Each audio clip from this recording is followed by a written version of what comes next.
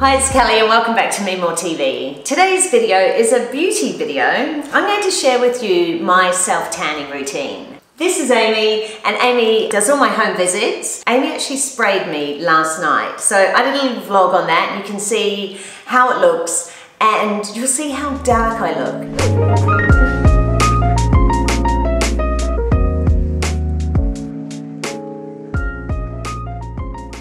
Okay, just had my spray tan. But I just want you to really see how dark that is. I've got natural light on me at the moment. Maybe I'll move back and you can see. So that is more realistic. Like it looks quite dark.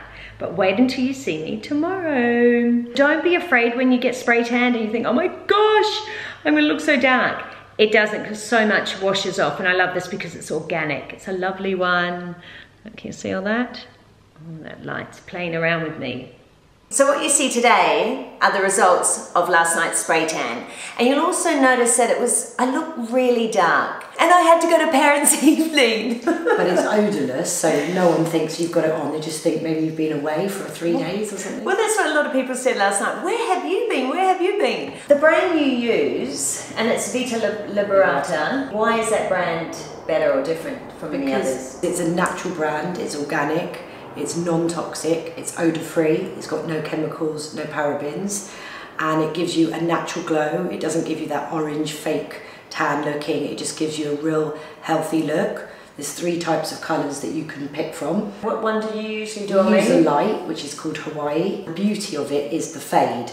You never get the streaks. It yes, just fades naturally. I love that. You know how, because some fake, fake tans, they become all blotchy and you've got to exfoliate it off. This just blends. And then you can add the beauty blur or the body blur to give you an even more oh, glow. is this what everyone was talking about? Was it at the Academy Awards that they were all doing Oscars, that glow? Yeah.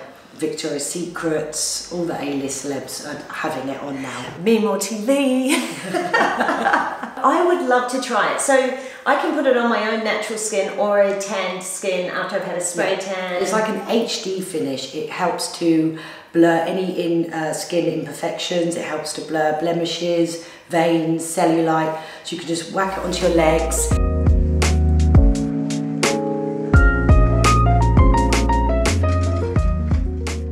So this is the body blur.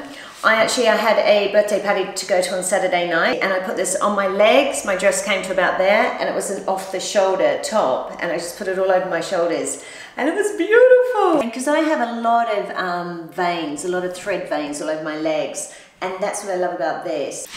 So I'm just going to apply it down the legs. So you can gradually build it up however you want it to be. And it doesn't dry. come off on your face? No, it's water resistant. Ah, oh, see, I love that. So you see that shimmer, which I really love? Actually, I just applied it with my hands on Saturday night and it just washed off on my hands. And I did it all over my shoulders, my neck. Um, but I'm going to try today for the first time, which I haven't tried, is the Beauty Blur. I want to put it on my face.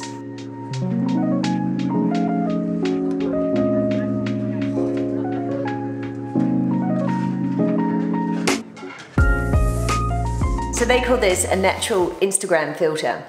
You can see why. So that was the body blur. This is the beauty blur. This one's for your face. I love the body. I have been dying to see the beauty blur in action. So how do you use it? Someone like you, Cal, you could use it as just your base. You can use it with your foundation or alone.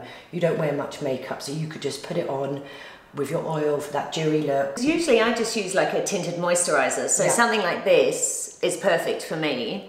And I get that glow. So okay. you can add it with your moisture, your tinted, or wear it alone. No, I want to see it alone. This is I've just got moisturizer on. No, no tinted moisturizer. I tell you what, we do one side.